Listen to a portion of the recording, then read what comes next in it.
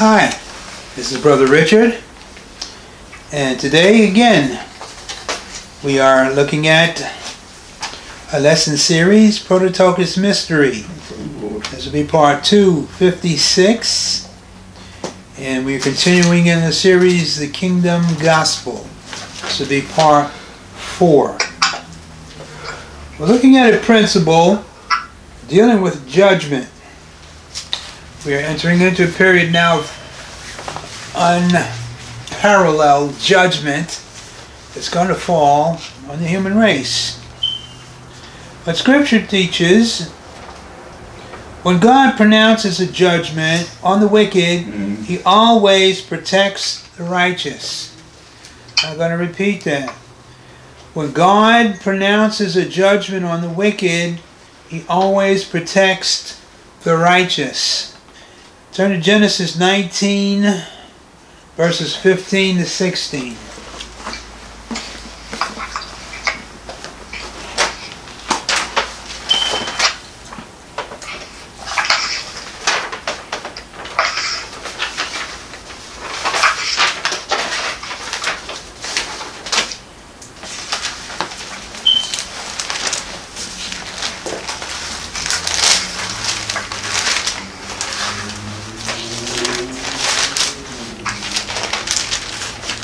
Here we have the judgment that's about to fall on Sodom and Gomorrah.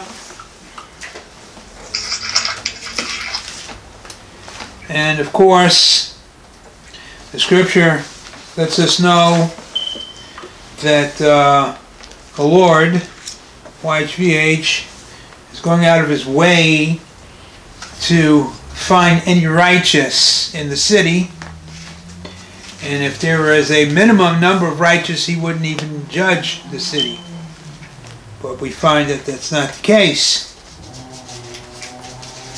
So he determines that he's going to wipe out the cities, the whole plain, but he's sending two angels to rescue the righteous. Pick it up verse 15. And when the morning arose, then the angels hastened Lot, saying, Arise, take thy wife and thy two daughters, which are here, lest thou be consumed in the iniquity of the city. And while he lingered, while he lingered, he couldn't bring himself to leave this place. while he lingered, the men laid hold upon his hand and upon the hand of his wife and upon the hand of his two daughters, the Lord being merciful unto him, and they brought him forth and set him without the city. So literally, they have to forcibly remove these people from uh, what's about to take place. So that raises the question. Lot knows the temperament of the people of that city. Mm-hmm. He tells them at one point, "Take my daughters, leave these two men alone." So he understands perfectly how the why is he lingering and why does he need to be dragged? Luciferian influence. You're seeing the Luciferian influence. That was their life. Their life was in the city. Hmm. And it was so interwoven, even though the scripture says that they were miserable. Hmm. It says that what Lot had to deal with every day literally uh, brought uh, a, a feeling of wretchedness to his very soul. He abhorred it, but yet and still the Luciferian influence was so strong. Mm. They didn't participate in the sin. Had they done so, they'd have gone down with the city. Sure, sure. But they were so completely connected to it, they couldn't pull away from it. Would you describe what you've just told us to be similar to the harlot city making men drunk with wine. The wine, of course, being, um, how, how's it described? It's um, sorcery, basically. Sorcery, right. Is this happening at that time? No, what's happening is what you're dealing with now. People are caught up in the subtlety of the evil of this current order, Mm. they can't detach themselves from it.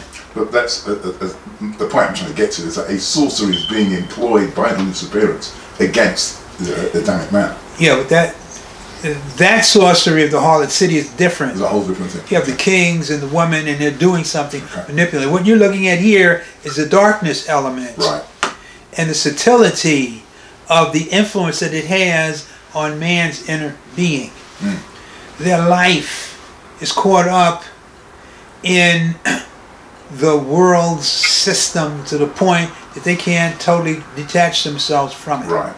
So then this is proof, perfect proof, that if, and I'm talking about today, a born again Christian is not pursuing these truths, these very truths that the Lord has chosen to give us at this time, and is 100% committed in doing so, you wouldn't be any different from Lot, even though Lot is righteous. Yeah, well, what it means is that uh, they're going to uh, experience uh, grief Sure. uh, because of the inability to make the break Hmm. in what's happening. Well, you see what happened with Lot's wife. Yeah. They, the, the angels literally take him out of the city physically, and they tell them, "Okay, now flee." And they're, you know, taking their time. Oh, can we go to this city over here? Oh, you know that that this this intransigence in wanting to leave. Well, it's giving us the understanding of the mindset of the human individual as it pertains to the world's system. Yes. They're so connected. They've been so programmed by the Luciferians to assume that the the relationship that they have, the identity that they have with this corrupted, degenerate, fallen, worthless in the sight of God pseudo reality, they can't detach themselves from it. It takes an act of the will Sure. Which only a few really reach that point where they begin to see it for what it is, and it's such a detestation. They say, "I don't want any part of that. I'm out of here." You know. Yes. So that's interesting, what you just now brought up the point I'm trying, I was gonna bring up. The whole thing is that Lot and his wives and his daughters are living in an area where there's blatant homosexuality and, and bestiality, who knows all that stuff. And I guess, well, Sodom, Gomorrah, they were both, they had, I, they're similar in their, in the nature of, of actions that are happening. Sure. So maybe that's the environment that the girls are being brought up in. Yes. sure. Um, But what you're bringing out is the normalization of what we're seeing today. Look at all this madness. They're teaching two and three year olds exactly what you've just described. So that as when they come to the point where they can actually understand what they're looking at, hey, that's normal. Well, I wanted to get to another point, Mr. Jones. I hope you don't mind me doing this, but we're talking about the same thing that we're talking about. So Lot and his wife and his daughters, they go. And then the daughters say, well, um, what about our progeny? You know, we, we need to keep, keep the, uh, whatever Lot's last name was, going. So they decide to lay with their own father to perpetuate the, the longevity of the, you know, so Mr. Jones, it's like, it, they have already become part of where their, their existence, but mm-hmm. I believe back in those days, it was a little bit different. I think families, the concept of families and, you know, is, was different than it is now. Can you give us an explanation? Well, the, the, the, the understanding of the relationship between the father and the mother and the children is was laid out by YHVH from a godly perspective. But what happened was when they detached themselves from the godly mode of operation of living life, Lot pitched his tent towards Sodom, it says. He began to get the influence of Sodom. Instead of fighting it, he embraced it. Not only did he pitch his tent towards Sodom, he wound up staying at the gate of Sodom. So it's a, co- uh, it's consistent progression into evil influence And why is YHVH not taking, you know, telling them, hey, you gotta, the neighborhood's not good, you gotta move on down the street? Well, he's supposed to know that himself. Uh, Abraham was right there. Abraham saw everything. Lot knew what he was doing. But the influence was so subtle that he yielded to it rather than fight it. And ultimately, it wound up consuming him. He didn't go into sin, but it corrupted his family to the point he lost his wife, his daughters were degenerates, and you know, so what do you got to show for it? Nothing. Same thing is happening here. People compromising all the time. Uh, evil. What happens is when a person initially confronts evil, they see it for what it is. Right. When that happens, you have a choice.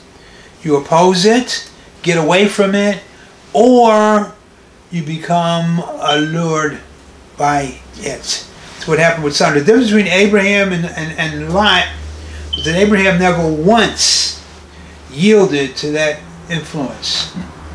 Nor did he allow his family. He kept his distance. Lot didn't. So the scripture is letting us know here that even though this has happened, this is an example of a righteous individual. Lot, when he died, he went into Abraham's bosom. Because his, his, his, his soul was, was righteous. The rest of him was corrupted to the point that he couldn't distinguish normality beyond a certain point. Getting back to our principle, when there's a judgment that falls, God always spares the righteous. Turn to Revelation, I mean, turn to Ezekiel 9, verses 1 to 4. Ezekiel 9, verses 1 to 4.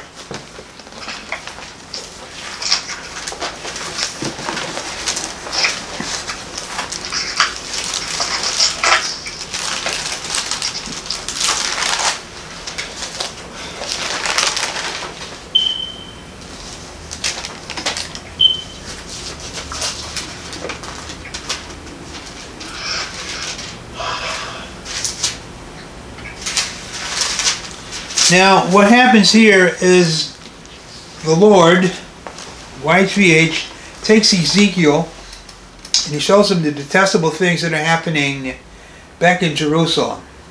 Things that are happening in the temple. uh, people uh, bowing to pagan gods, doing despicable things in an area that is supposed to be sanctified, set aside for God's use the priests totally corrupting themselves, the ancients entering into sin, habits of uh, detestation. And so he gets through giving Ezekiel a tour of all of this. And then he tells him something in verse 9. He says, going to judge this thing, I'm going to wipe it out. Chapter 9, verses 1 to 4. He cried also in mine ears with a loud voice, saying, Cause them that have charge over the city to draw near, even every man with his destroying weapon in his hand. And behold, six men came from the way of the higher gate, which lieth toward the north, and every man a slaughter weapon in his hand, and the men and one man among them was clothed with linen with a writer's inkhorn by his side. And they went in and stood beside the brazen altar.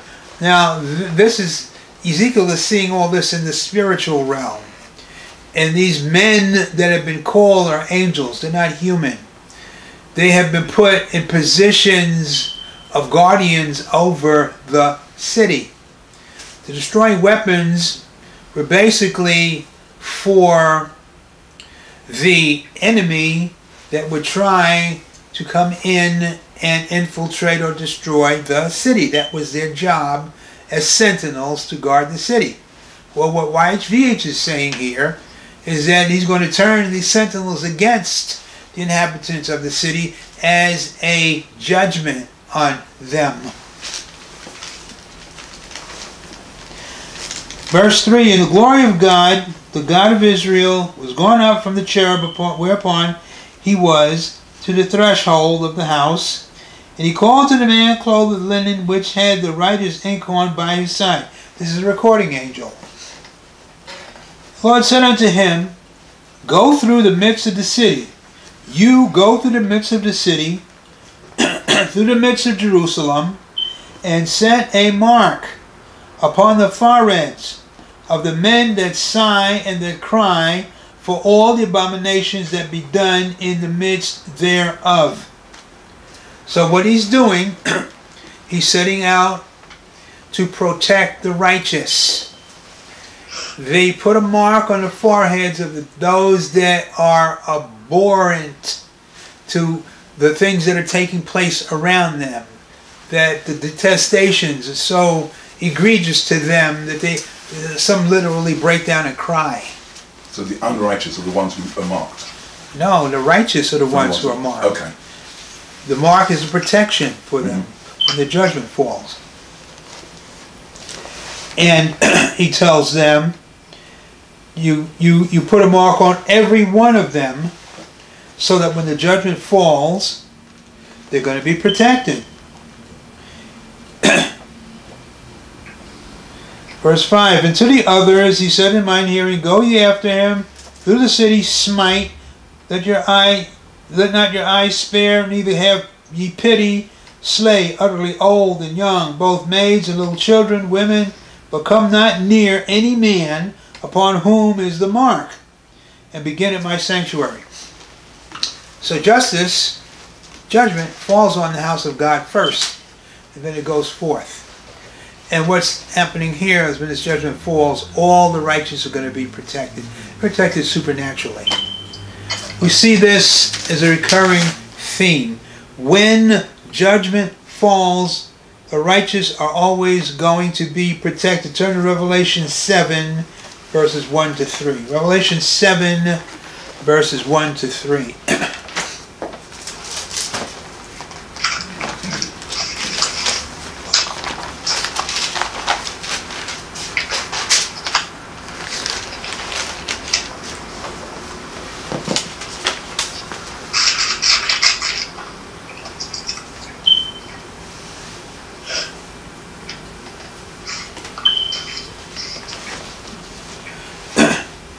And after these things, I saw four angels standing on the four corners of the earth, holding the four winds of the earth, that the wind should not blow on the earth, nor on the sea, nor on any tree.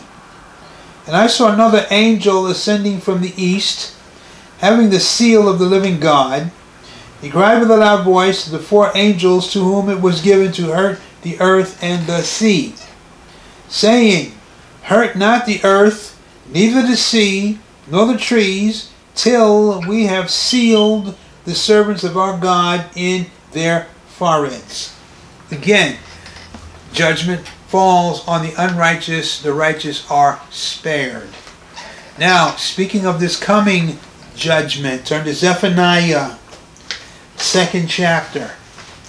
Zephaniah, the second chapter.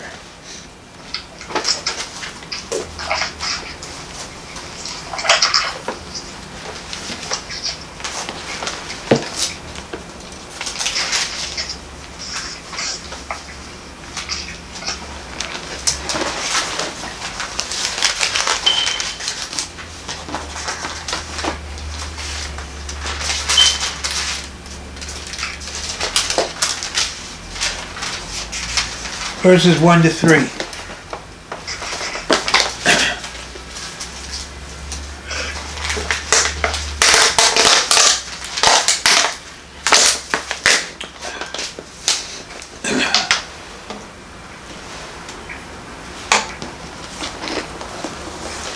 Gather yourselves together, yea, gather together, O nation that desired. Before the decree bring bring forth, before the day pass as a chaff, before the fierce anger of the Lord come upon you, before the day of the Lord's anger come upon you. He keeps using the word before, before, before. He's telling you, pay attention. Do this before the judgment falls. Seek ye the Lord, all ye meek of the earth. He's not just talking to Israel, he's talking to the human race. Seek ye the Lord, all ye meek of the earth, which have wrought his judgment. So he's saying everybody, the whole human race, stands in judgment. Everybody. But those that have made themselves taken the opportunity to incorporate the exclusion clause, that which the judgment will not fall upon them, he's giving this decree to. Seek ye the Lord, all ye meek of the earth, which have wrought his judgment, seek righteousness, seek meekness. It may be you shall be hid, protected, in the day of the Lord's anger. The Lord is going to protect the righteous.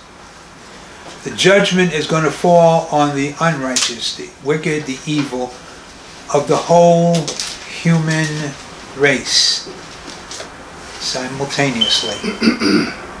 so here again, the warning goes forth. Here again, he's saying, avail yourself of God's mercy. God's judgment is always tempered with mercy.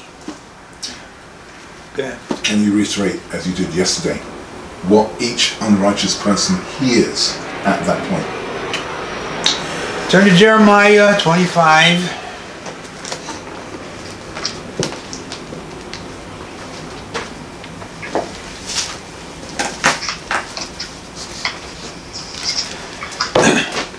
Verse 30.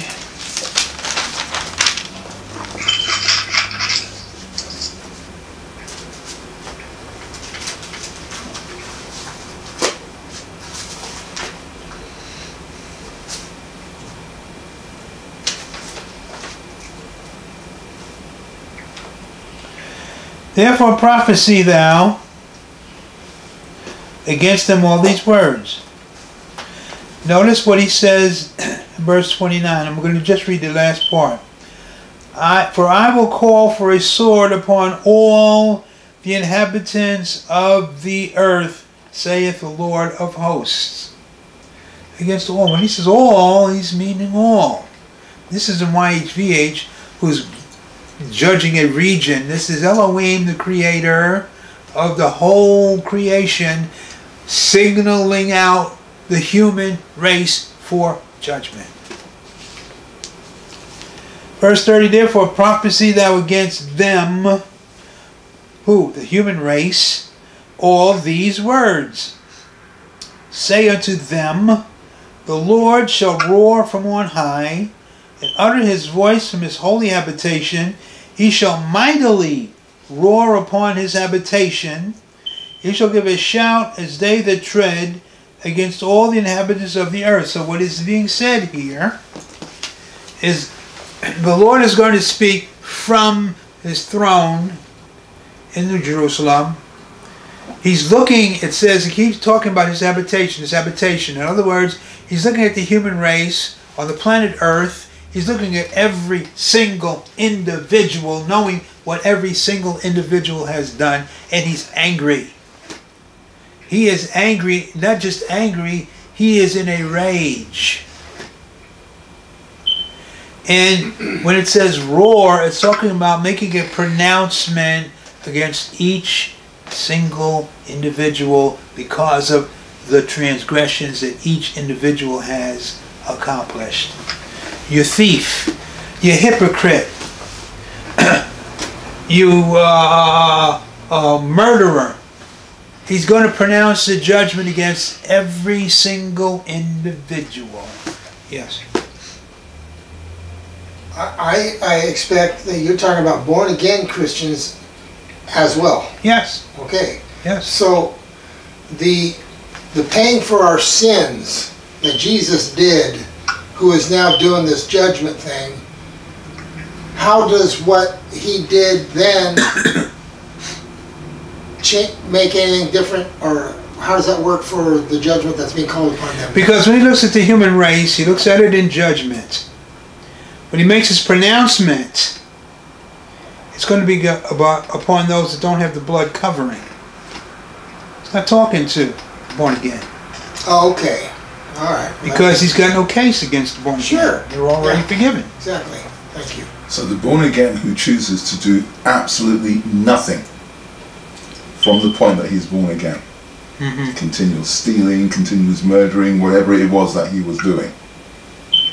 Are you saying that he's covered? No, I'm saying he's nullified his covering. Oh, uh, right. So he's a foolish virgin at that point, but how does that? no, no, no. He's not a foolish virgin. No, he's, not a virgin at all. No, he's not a corrupted. at all. He's corrupt. We're talking about somebody going through the born again experience and then believing that that's the destination. They can continue living the same old life they've lived before and continue being nonsensical in other words. People walk around telling me they're born again Christians. They live exactly the same as they did, still smoking meth, still running up and down with, you know, all that stuff. Okay. So I just want to nail that. He's, he's, the judgment is going to fall those on those carnal Christians. right. Carnal Christian. Turn in Romans, the eighth chapter. just before he goes to Romans the 8th Yeah. chapter. Mm. Each person who hears, I'm talking about the unrighteous now, the judgment pronounced upon them, do they hear the whole litany of things that they've done, or is this just, he only says one thing? No, they're going to hear everything. But it's not just hearing. Right. It's feeling. What they're going to do is experience a judgment as a result of the things they have done. When God speaks, He's not speaking words, He's speaking realities.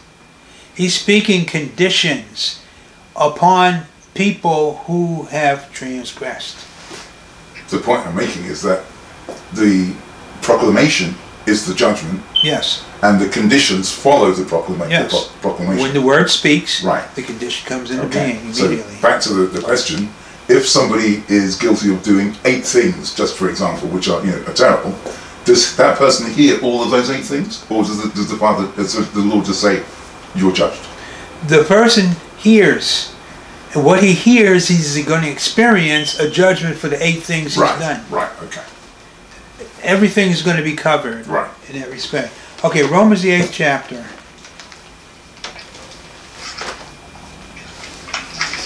People like to play games with God, They do. and that's dangerous.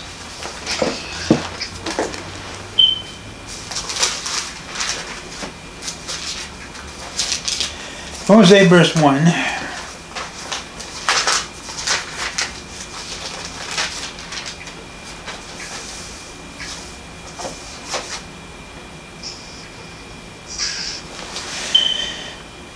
There is therefore now no condemnation to them that are in Christ Jesus, who walk not after the flesh, but after the Spirit. It is conditional. Right.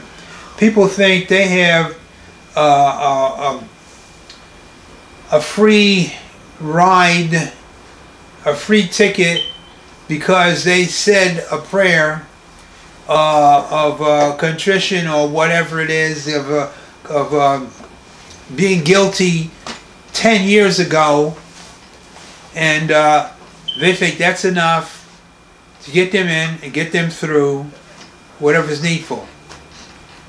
That's a mockery to God.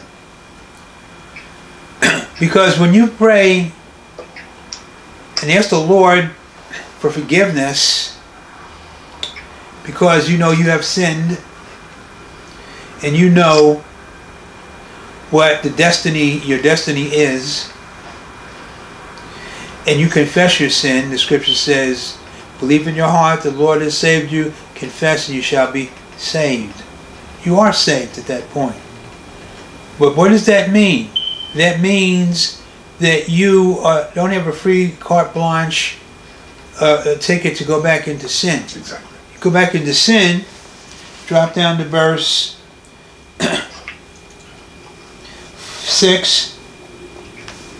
To be carnally minded is death, but to be spiritually minded is life and peace. A person lives carnally, that is, after the senses, after the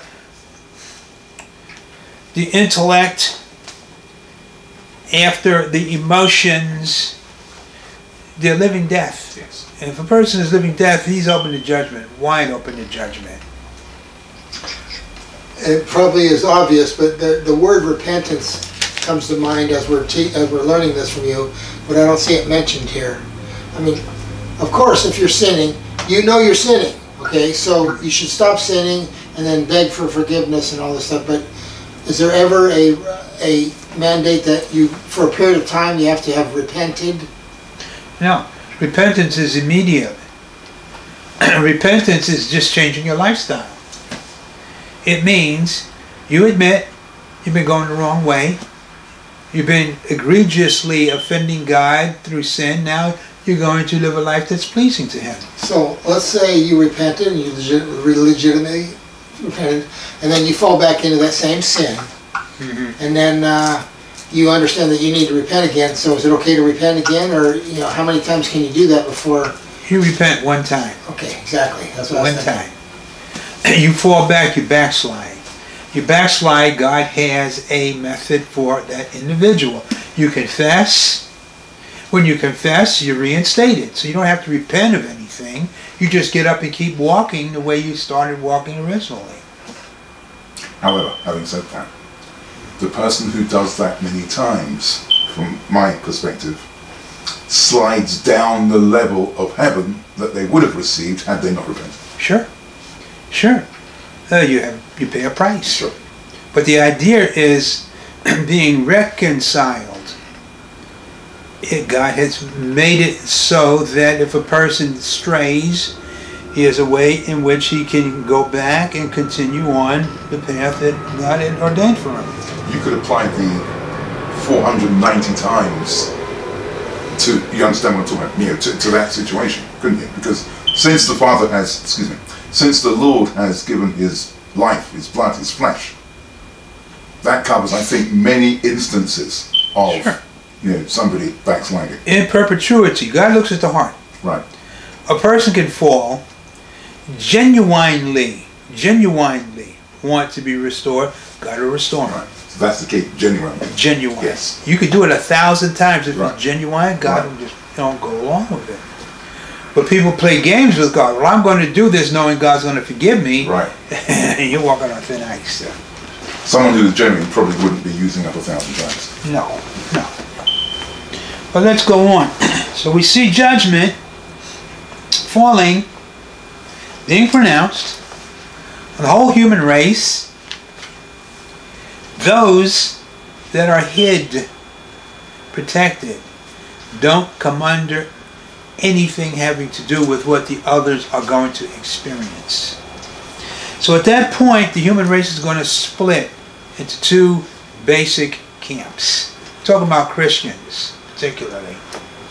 The unsaved are under judgment.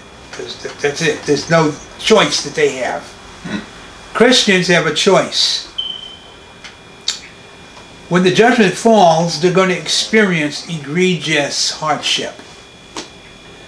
But they have an opportunity because they have the Spirit dwelling in them to do the right thing. Turn to Matthew 24. Okay.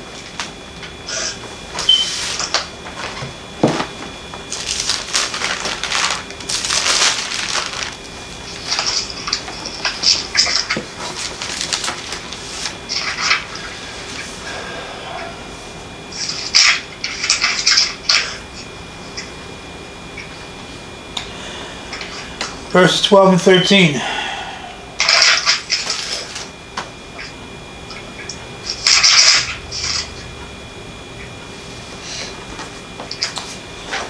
And because iniquity shall abound, the love of many shall wax cold.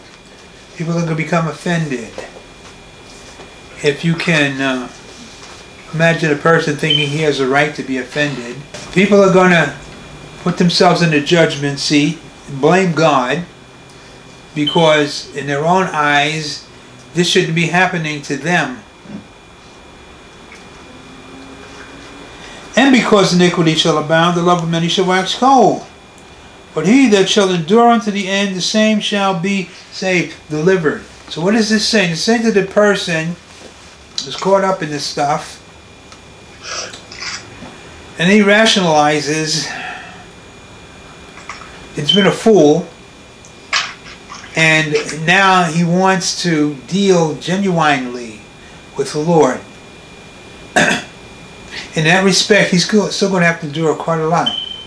But if he continues to endure, he's going to ultimately be delivered. That's what the word saved means.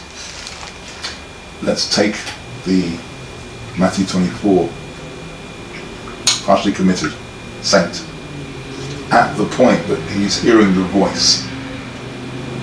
What happens then? Oh, it's too late then. Right, okay. So, Yeah, the judgment. so the Zephaniah 2, uh, 2 and 3 that we just read had to have kicked in way before for that to happen. Yeah, he keeps saying. Prophet keeps saying, before, before, before this, you better get right. Before this, you better evaluate your situation Right.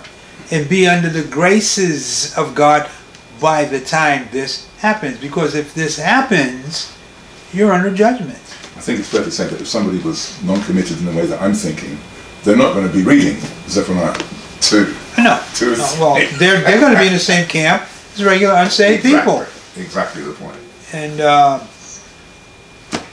you know? That's it. But this is this one group. Mm.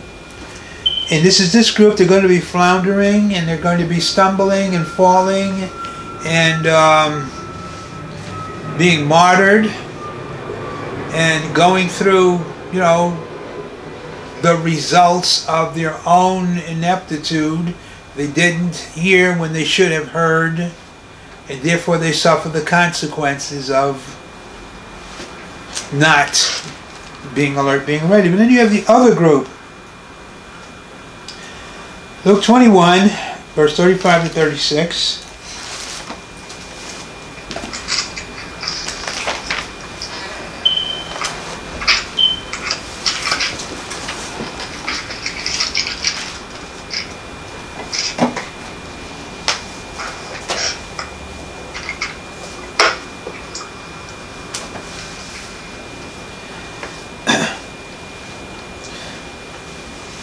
For as a snare shall come on all them that dwell on the face of the whole earth. When it says a snare, what it means basically is is a, a trap, a net. And the people that are going to be in this snare, in this trap, in this net, are going to be in it as a result of the judgment that has been pronounced upon them. Their own lifestyle is going to ensnare them, entrap them, and ultimately destroy them. That's why the scripture says, He that will save his life will lose it. He that will lose his life for the gospel's sake will save it. It's the life. Remember what we just read about Lot. Their life, they were living in Sodom, is what destroyed them. Lot's wife could have walked free and been, uh, you know, the, the, the matriarch that would have made the difference between what his daughters did and didn't do, Sure. change the destiny of whole, you know, nations. She's caught up in her life to the point where she couldn't extricate mm-hmm. herself and pay the price. It's the life that's going to be the snare for people who are not willing to totally commit while they had the chance. Totally commit means totally cut off. Sure. I'm not sure everyone fully understands that. Well, basically, what people think is, oh, you got to give up everything. You got to, if you're rich, you got to, you know, walk around in rags and holes in your sandals and that stuff. No, that's not what that means. It doesn't mean you have to give up anything. It means you have to be willing to give it all up. Willing. That's the big difference. Abraham was willing. Job was willing. These were men that had much wealth, but they had something that was more important to them than their wealth. That was their relationship with Elohim. So what's being said here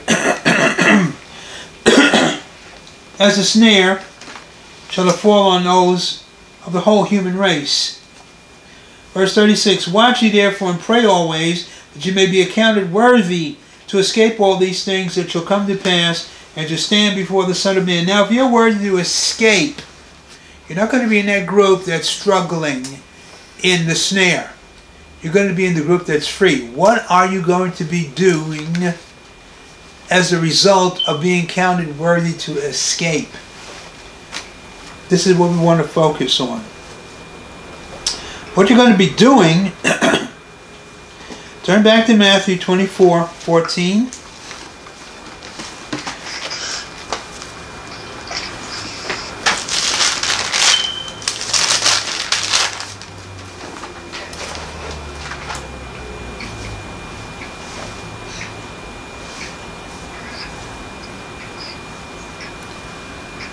Matthew 24 14. This gospel of the kingdom shall be preached in all the world for a witness unto all nations, then shall the end come. The gospel is going to be first you have the judgment, then you have the gospel.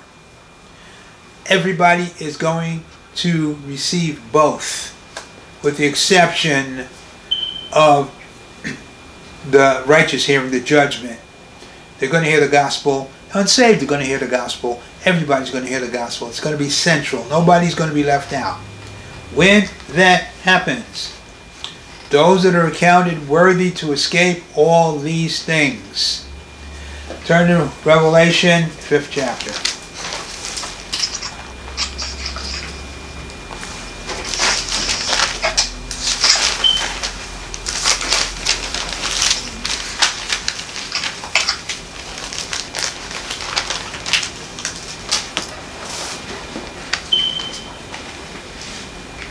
Verse 9.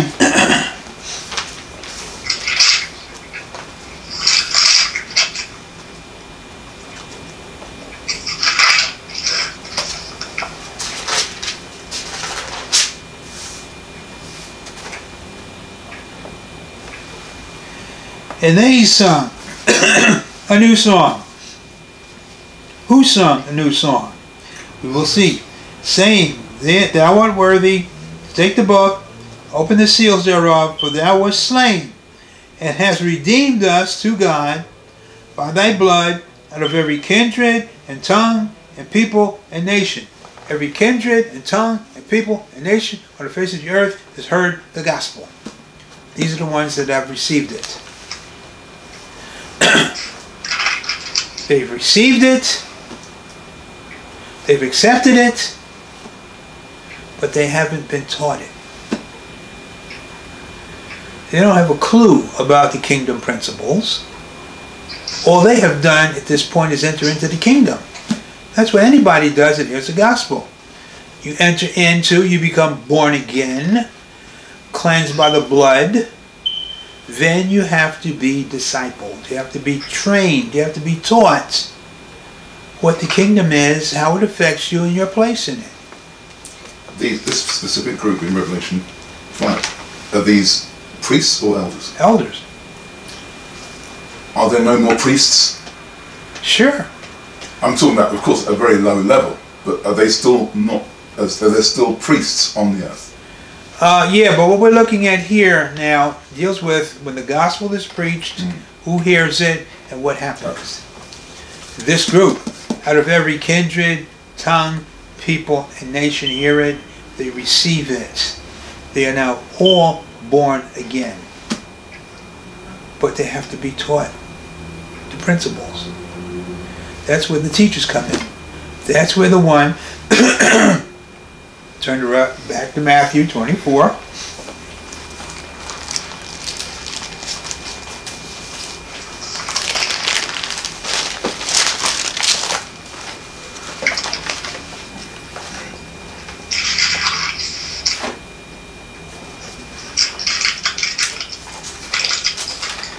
verse 45 and 46.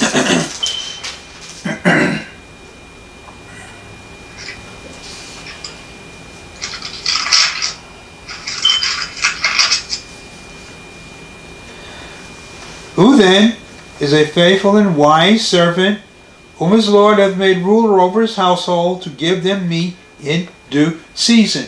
Give who meat in due season? The people that have just heard the gospel. They got to be fed. They got to be taught.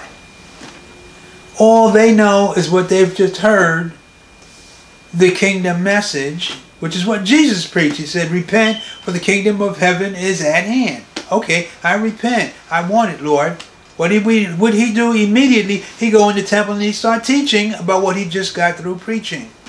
Yes. Okay, in order for them to say, yeah, I heard that, now I want a bit more, that means that they are in the gathering. Not in the gathering yet. They're heading toward the gathering hasn't taken place. This is the judgment, the gospel preached. The gathering is down here. Okay. You can't gather people that aren't open to So receive the what the gospel's gathering preached by is. who? Angels. The counterpart. Remember, we had a lesson on it. The angels preach the gospel to the whole human race after the judgment falls on them. And you, and you, and me are given the XY axis to go and feed them Right. now. So this is just off the beginning of sorrows. Yes. Hmm. This is during the beginning of sorrows period. The kingdoms have fallen. Everything is in a state of chaos. Out of this chaos, Israel is being brought to the land. the faithful and wise servant is raised now to feed God's sheep. The point I think he was making was those who have heard it and said yes, now they need to be fed. Yes. For them to get to the gathering, because the gathering has not yet happened, they still have to be protected somehow, Sure. which I think is the point that he was making. So we understand, therefore, that from the beginning of sorrows until the gathering itself, the Lord still keeps his hand, obviously, over those who will become the elders. of the Certainly. Certainly. What does that look like? That's Ephesians, the second chapter. While we were sinners, yet God, because of his great love, Okay. the, the place has already been there. Right.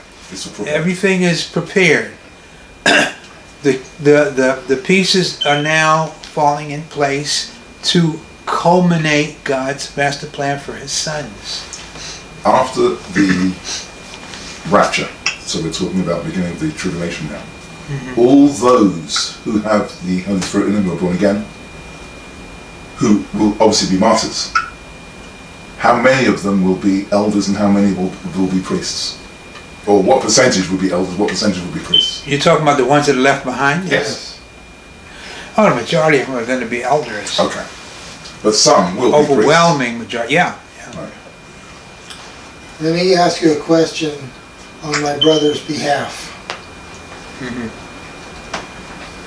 I'm gonna answer before I ask the question, and then he'll know what I'm talking about.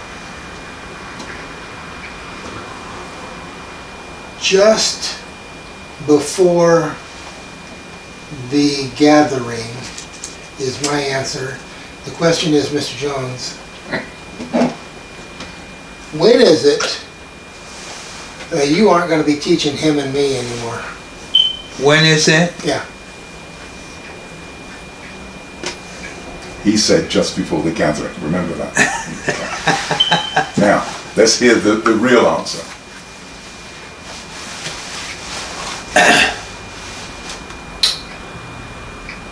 It's dependent upon each one's level of growth. He's wriggling. No, I'm not wriggling. I'm don't want to hear any giving wriggling. you as much as that. That's true for everybody. Okay. We grow to a point, we reach that point, Paul talks about that, where you wholly now are focused on the Holy Spirit, not an outside individual. Okay. But, but, There's more. Okay. Yes. The the uh, the way that the Lord has constructed the Prototokos hierarchy, you're going to have like if you take the difference between the pillar angel Right.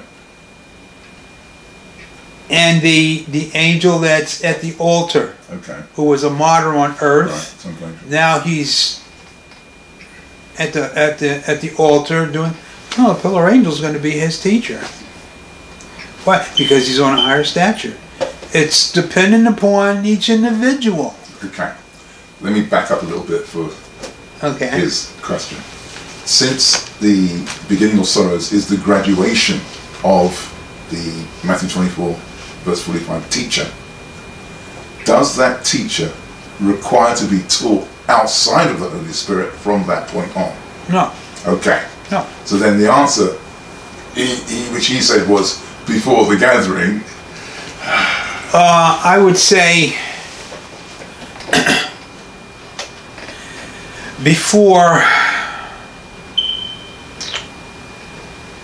um, for the most part, yes, just before the gathering. because that's when you're going to get your entourage. Okay.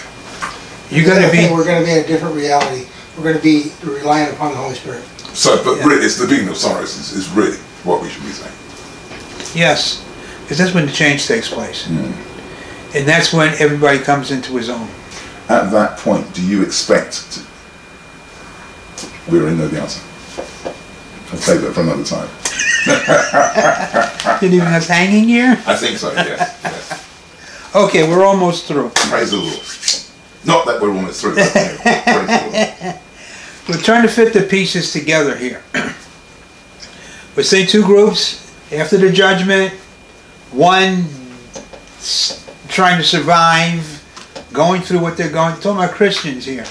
The other group being given the positions of preparing God's sons for the gathering. Gospel is preached. Everybody hears the gospel. Turn to Matthew 28. What do you do when you hear the gospel?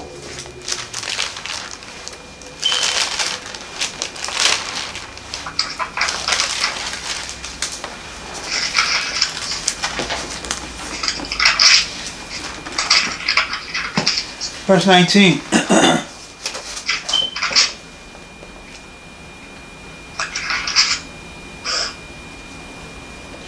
Go ye therefore and teach all nations. What are you going to teach them? What they've heard from the gospel. Do you describe that as the whole counsel of God? Yes, because he goes on to say that in verse 20. Okay. Go ye therefore and teach all nations, baptizing them in the name of the Father, the Son, the Holy Ghost, teaching them, teaching them, teaching them to observe all things whatsoever I have commanded you. Right. Lo, I'm with you always. So, yes, Baptizing them. yeah. We'll be able to baptize them in the Holy Spirit. You baptize them in water.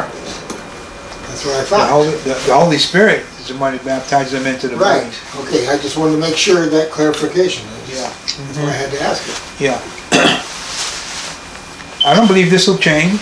I believe it'll be the same thing. In that new reality. Yeah. The baptizing in water to represent the There's a declaration that Yeah. they're now born Okay. again. You don't see any, any difference or any change in that. No. Will it be more than is being done now? Every single person which will, which will willingly uh, yield to that. So when will the being taught group receive the fullness? Same time that we do? At the glorification? to glorification. the teachers receive their reward at the gathering. Right. The students at the gathering are going to be prepared for the rapture. The rapture is where everybody gets glorified. Right. Do you imagine that more people will be coming out at the time of that new reality to be in Christ than before the new reality? Yes. And so therefore we, we will be baptizing in water a lot more. That's really where I was, where I was going. Yes. Yes. So during the gathering, the teaching will be primarily for the called before the foundation of the earth or primarily of those that are called after the foundation of the earth? Before the foundation of the earth. Predestinated in other The ones that were called after, this has been their time. Oh, really? Sure. Of course, 'cause they need more time to, to, to understand. Uh, I'm going to give you a scripture to Yes. prove that. Okay. Then we'll close with that. Okay. Galatians, third chapter.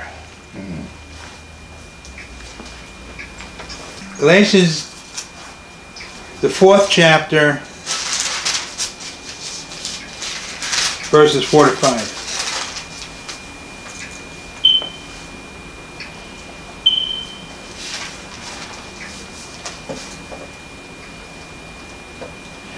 But when the fullness of the time was come, God sent forth his Son, made of a woman, made under the law. Why? Two things. Verse 5 is explaining two separate principles. To redeem them, them that were under the law. Who is the them? Those who have the temporal calling Okay. He uses the word them.